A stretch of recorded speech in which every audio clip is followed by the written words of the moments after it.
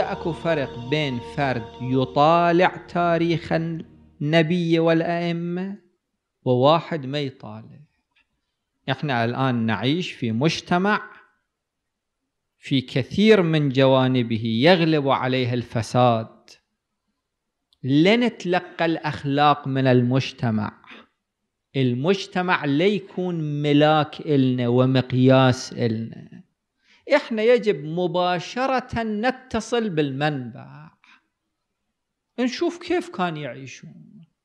إحنا أحيانا نكون لنفسنا إطار معين وأفكار معينة ومنهج معين في العمل والحركة. يجب أن نطبق ذلك على حياة النبي الأعظم والأئمة الطاهرين.